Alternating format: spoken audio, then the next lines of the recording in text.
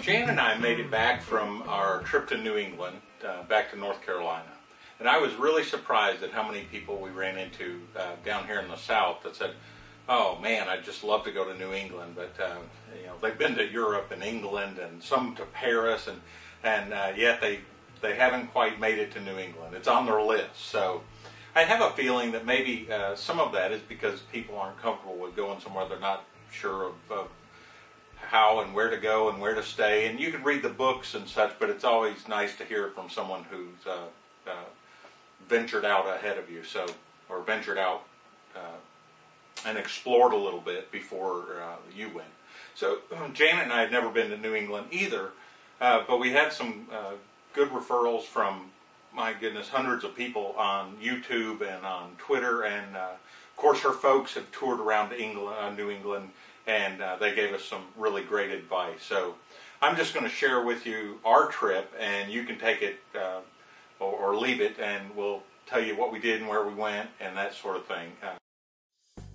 Uh, to familiarize you with New England, uh, we have the Ultimate New England Travel Guide for Southern People map.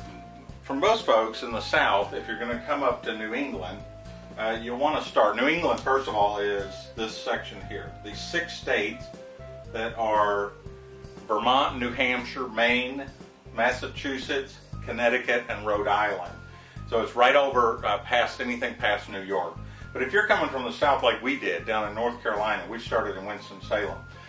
It's about a 13 or 14 hour drive to get to the point where you stop and then you tour New England. So what we would advise, what we did was we stopped halfway. And we had a couple choices. Um, we could stop uh, in D.C. or we could stop and see Baltimore. You know, I mean, while you're taking the trip, you might as well uh, see something on the way and on the way back. So what we did was we came up 40, hit um, 95. Once you're on 95, that's all you just stay on 95. We went up through Richmond, Virginia, and we stayed in Baltimore, Maryland when we stayed downtown and we stayed right across from the Bromo Seltzer clock. We walked down to the inner harbor. Uh, we uh, went and saw the row houses and um, we just went all over Baltimore that evening. And then, of course, early in the morning before we took off, we did too. But we went down to uh, Janet's old stomping grounds in Glen Burnie and ate at Ann's Dairy Cream, which is uh, a restaurant that's been there oh my goodness, for, for dozens and dozens of years. And uh, they have these wonderful cheesesteak sandwiches. They're like no other. And if you go to Baltimore, go to Glen Burnie. It's not far. It's just a little south of the city. And eat at Ann's Dari-Creme. The next day, we came up and uh, uh, got back on 95. Of course, there's a lot of tolls. And I think it's kind of funny. We were um, expecting tolls, so I got a roll of quarters and, which was $10 in quarters, but these tolls were a lot more than that. So one toll alone was $9 coming through New Jersey. And uh, of course, that was a, the most expensive one.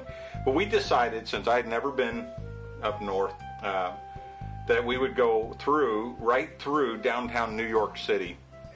And we went across the Washington Bridge and uh, we sat there for a while. So it was kind of cool for me to see everything. We didn't, New York wasn't part of our plan.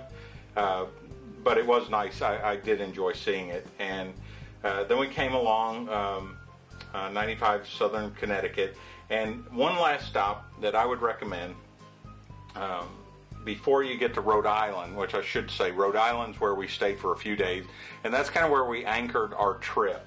So we were heading to Rhode Island, but we stopped in Mystic, Connecticut, which is a great little seaport. And uh, of course, you hear uh, Mystic, Connecticut from Mystic Pizza, the movie, and that sort of thing. But it's great. That's great to stretch your legs. There's shopping there. You can go downtown. They have a drawbridge, uh, a beautiful waterfront. There's shops. Uh, uh, it's a really nice stopover, and I would highly recommend stopping in Mystic, Connecticut. But then from there, you're just you know uh, an hour or two away from Rhode Island. Well, in Rhode Island, um, we stayed in Newport, and I will go into that in more detail later. But from there, we went to Boston, went up to Portsmouth, New Hampshire, went to um, the LL Bean place in Maine, went over to Bar Harbor, and stayed a few days. And then we took the mountain road uh, over the uh, Highway 2 over through New Hampshire, stayed in Stowe, Vermont, went to Montpelier, went down south. Um, on our way back, we came through Connecticut, uh, cut over and stayed uh, near the Poconos. Then we went through Scranton and uh, stopped in Hershey, Pennsylvania. And then we came to Harper's Ferry, West Virginia. Oh, that should be over here. Over here, Harper's Ferry, and then we came on home. So our route went all the way up 95 to Bar Harbor, over to Vermont, back down to Connecticut, Pennsylvania. But you could do it a new number of different ways. Uh, as long as once you get up into New England, you circle those six states, and uh, we'll cover where we went and what we did. So, see you in Rhode Island.